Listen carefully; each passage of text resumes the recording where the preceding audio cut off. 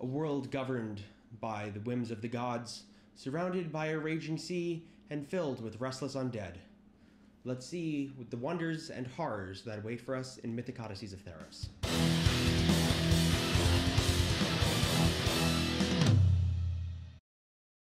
Hi everyone, Jake from Monsters and Munchkins here, and today we are going to be talking about the new D&D campaign sourcebook, Mythic Odysseys of Theros. My first ever character was a Triton, and I got into gaming through Magic the Gathering, so I was very excited when this book was announced to see what it had in store for us. And it has a ton of player options and DM options. I'm not going to cover the player options in this video. Let me know if you'd like me to in the future. Instead, we're going to be focusing on the options that are given to us for interactions with deities and the very, very cool monsters that are packed into this book. And at the end, we will be talking about the basics of what I would do to make a fun mythic encounter. And one of my favorite parts about this book is how easy it makes it for us to make Theros adventures and Theros adventures related to the gods without the gods' will overpowering player agency. That's always a difficult thing to do. In my Rod of the Seven Parts campaign, the gods interfering with PCs was something I tried to keep out of the way until they got to higher levels when the PCs could kind of work with them. So the PCs always felt like they were the ones making the choices from the very beginning. In here, it gives you plenty of options for that and options for communication, which is always a little bit tricky to pull off. It talks about just showing omens and weal and woe, such as the augury spell, and some other options for the augury spell, which is one of my favorite spells because it gives the DM a chance to just interact directly with the PCs through a third party medium. And for commune and stuff like that, and how to dive in deeper than just weal or woe and just really let the players interpret that. And that's something that I think is really cool. Also, this interacts with monsters which we will look at when we design our mythic encounter. Now, it also talks here about divination and dreams and visions and how to interject that into PCs. Anybody that's watched the second season of Critical Role, I'm sure wants to give their players plenty of dreams, and if you want to be somewhat original with it, maybe read through some of the very cool ideas in this book. It also talks about divine intervention here a bit and sending out emissaries to commune with them and how the gods will actually just go about interacting with the PCs. Now, looking at the monsters in Theros, there are a ton of cool monsters in here and we don't have time to touch on all of them. let's just talk about some of my favorites really fast. Starting off with the hoplites, nothing incredibly cool here. I was just happy that they included hoplites because, you know, Greece. Then they do some of their own takes on giants. As we talked about in the last video on the channel, I think giants are already one of the best bad guys out there. So whenever you can make those fights just a little bit more interesting, you have basically one of the best things for your players to be fighting, in my humble opinion. Now, the 100-handed one is just a really cool giant with a bunch of arms, and it has a parry ability similar to like Bandit Captains. And there is the Doomwake Giant as well, which is straight up evil, so your PCs don't have to feel bad about killing it and it has a really cool Noxious Gust ability, which is a line um, 10 feet wide, 60 feet long, DC 18 con save, where they take 88 necrotic damage and are knocked prone. Well, it's nothing crazy new or anything like that. It makes the fight just a little bit more interesting. Whenever we can do that and throw something slightly different at our PCs, I always enjoy that. Let's talk about the Cerberi. Now, the Cerberi are like Cerberus, if you are a fan of Greek mythology. I certainly was when I was a kid. And these are two headed or multi headed dog creatures that patrol the banks of the underworld. They've got a bunch of cool abilities such as pack tactics, and they have a breath weapon, which is different than your normal things like this.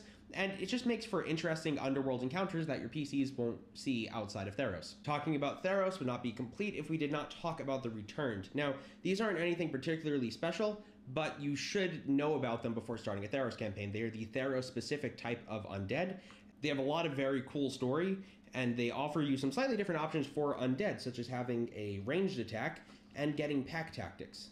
I love undead, so whenever they make undead in a book, I'm all about it. Now, we're going to move on in a second to the traditional monsters and implementing them in Theros, and then we're going to look at making one of those into a mythic encounter. But before we go back and look at those, let's talk about the mythic monsters from the book. Now, the first of them is this beauty, Arasta. I'm sure you've seen her pictures on the internet when the book was announced, and she's just absolutely terrifying. A satyr who was previously a chosen one of the gods, fallen from grace, and transformed into that beautiful thing. Now, she's got a bunch of legendary abilities that make her just a really fun monster to fight and something I personally would love to run in the future. However, she is a mythic encounter, so if you ever played a video game where you've defeated a boss and then it just gets back up and mutates into something else, I know when I was little I loved playing House of the House of the House of the Living Dead on the Wii, and the bosses used to do that all the time, and it made for really fun fights that would sometimes catch you by surprise because you never knew exactly what was going to happen, and that's the same thing here. So when she is destroyed, you get to read the following text. The nightmarish arachnid unleashes a shriek that sounds like a thousand spider carapaces scarring slate. In response, the ground ripples and bursts over the monster, revealing itself as a wave of countless spiders, arachnophobes, I'm sorry. The tiny arachnid swarm the larger horror, girding it in skittering bodies. This makes her CR21, and then when she comes back, she regains 200 hit points, and her children grant her 100 temporary hit points, bringing her back up. Now, I think this is really cool because at this point, your PCs have probably already shot their high level spells at her and are pretty worn down. Or maybe they got lucky and they're not. But hopefully, they're a little bit worn down at this point and they need to look for alternatives to win this fight. Now, I remember I was talking about in my last video about how a PC had to use a torch to fight a shadow, and I just love seeing my players come up with creative solutions like that. So, if that's what Mythic Encounters bring on, and that's what I hope they bring on, I can't wait to see more stuff like this in the game, especially considering my favorite tiers of play tend to be tiers 3 and tier 4. Next up, we have Hythonia the Cruel. Now, she is the Theros Medusa. We'll cover the monsters, the traditional monsters, in just a moment. But she got some different abilities similar to the Monolith. She got like a constrict attack and some other Yuan-Ti like things, which I think more Medusa should have because they're already a cool bad guy and make PCs make interesting choices with having to avert their eyes, get disadvantage on attack rolls, all of that fun stuff. You can't target her with line of sight abilities. And if you're looking away, you just have to think do I value myself or do I value dealing damage? We all know what the barbarian is going to choose, but it'll be interesting to see what the rest of the party decides to do and how they try to help each other out. Now, when she is slain, you get to read the following. I'm, again, if you're afraid of snakes, then I'm sorry. The Medusa skin cracks, turns a lifeless gray, and shatters. The monster crumbles to dust, but what clatters to the ground isn't scale and bone, but hollow stone. Super cool. Medusa clattering to the ground, hollow stone. Very nice. The sound of ripping coils precedes the Medusa rising up anew. The last of her head skin drops, shed skin drops away, revealing glistening, unscarred scales. I love that reading because, first of all, the whole stone and ashes to ashes thing with the Medusa is a very cool image, and it really gives the idea of a snake like shedding its old skin and being reborn. Also, it says she appears unharmed, so hopefully that messes with your PC's heads a little bit. Last but not least, we have Tromokratis, a kraken, a legendary Greek monster, and one that is sure to provide a very exciting and possibly deadly fight. Now, in addition to the other kraken abilities he has, for some reason he's missing a lightning ability, which makes me super sad because krakens and lightning and that stuff is cool. He's get coral growth, which is awesome, but no lightning. That's whatever. I'm gonna give him lightning. When Tromokratis is slain, you get to read the following.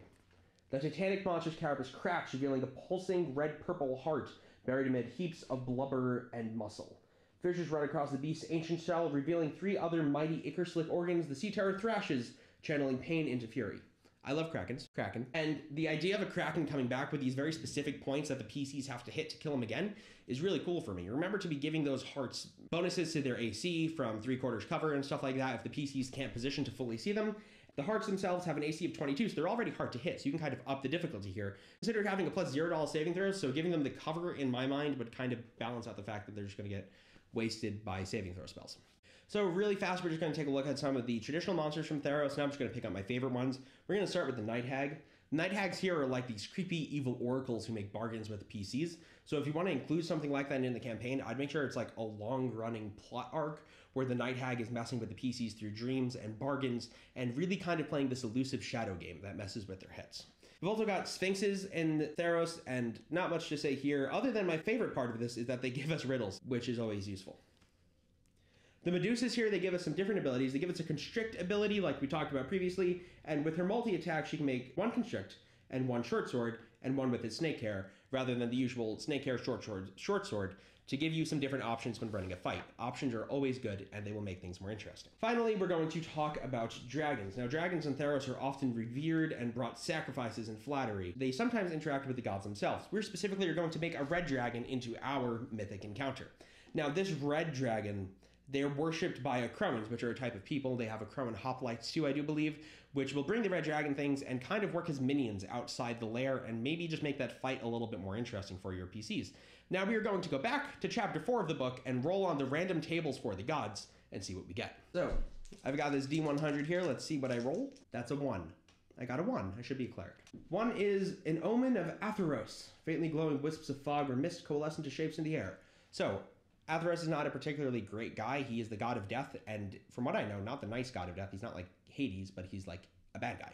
He's sending this dragon these images of mist Cool. So we've got a bad guy dragon working for the god of death. We're already off to a good start. Now let's go to the Nyxborn section of the book and roll for a Nyxborn trait.